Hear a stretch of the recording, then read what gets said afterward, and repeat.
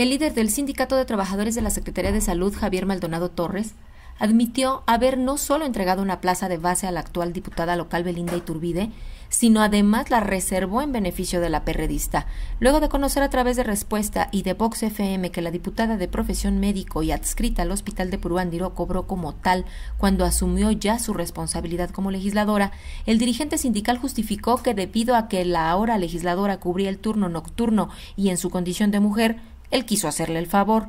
Javier Maldonado reconoció que apoyó de esta manera a la también doctora para que al dejar de ser diputada no pierda su plaza.